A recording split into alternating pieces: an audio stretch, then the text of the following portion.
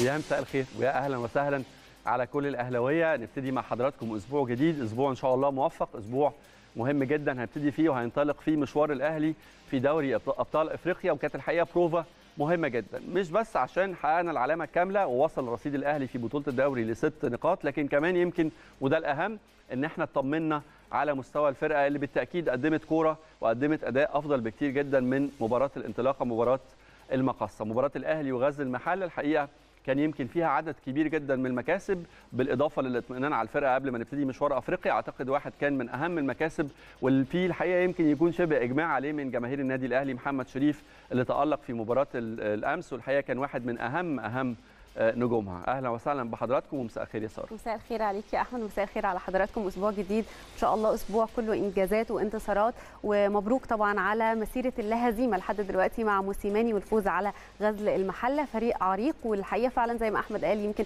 النادي الأهلي ظهر بشكل كويس جدا وخصوصا في الشوط الثاني يمكن الشوط الأول كان صنعنا هجمات كتير ولكن ما كناش بالمستوى اللي إحنا عايزينه. لكن الشوط الثاني طبعا قدرنا إن إحنا نتحكم في الماتش بشكل أكبر وقدرنا إن إحنا نسجل الثلاث أهداف.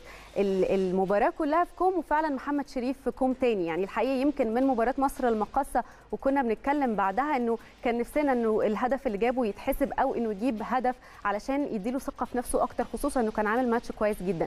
محمد شريف امبارح كان رائع في مباراة غزل المحلة تحركات رائعة الحقيقة ويمكن محمد شريف نوع المهاجم اللي أنا بحبه اللي هو مهاجم تسعة مش صريح مهاجم مش صريح يعني بيسموه في لغة الكورة ال false nine أو مهاجم تسعة الوهمي أو تسعة ونص زي فيرمينو كده في ليفربول يا أحمد.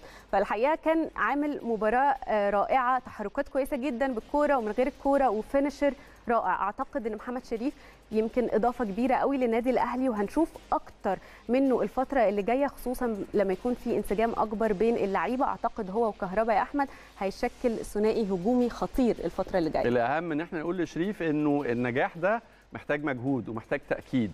إنك أنت تاخد ثقة جماهير النادي الأهلي ده شيء كبير جدا بيحلم بيه كتير من نجوم اللعبة في مصر.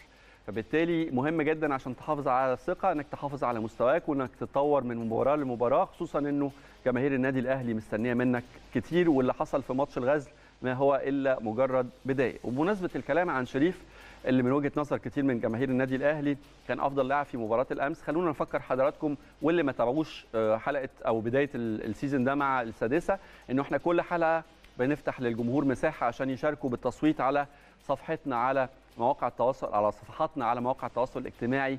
مين هم؟ أفضل ثلاث لاعبين في مباراة غزل المحلة. طبعا نتيجة التصويت على مباراة المقصة وأفضل ثلاث لاعبين احتلوا المراكز الثلاثة الأولى هنعلنها على مدار الحلقة النهارده بس بنفكر حضراتكم بالمشاركة على صفحتنا. الفائز بالمركز الأول بيحصد ثلاث نقاط والفائز بالمركز الثاني بيحصد نقطتين والفائز بالمركز الثالث بيحصد نقطة واحدة. ومع استمرار المشوار بتاع النادي الأهلي ومع استمرار مباريات النادي الأهلي هنقدر نتعرف من خلال تصويت حقيقي للجمهور في كل مباراة على حدة مين هو نجم الأهلي في هذا الشهر ومين هو نجم الأهلي في الموسم كله بناء بناء على تقييم مباراة بعد مباراة. زي ما ظهر قدام حضراتكم على الشاشة على صفحة النادي الأهلي أو الأهلي TV على مواقع التواصل الاجتماعي اختار أفضل ثلاث لاعبين من النادي الأهلي في مباراة الأهلي وغزل المحلة. نبدأ مع حضراتكم حلقة النهارده بأهم الأخبار والعناوين. الأهلي واصل تدريباته استعدادا لمواجهة سونيديب بدوري الأبطال. جونسون يحاضر لاعبي الأهلي في بداية الميران. فحص طبي للسولية ومروان ونادفيد يواصلان التأهيل. الجهاز الفني واللاعبون يحتفلون بعيد ميلاد الشناوي.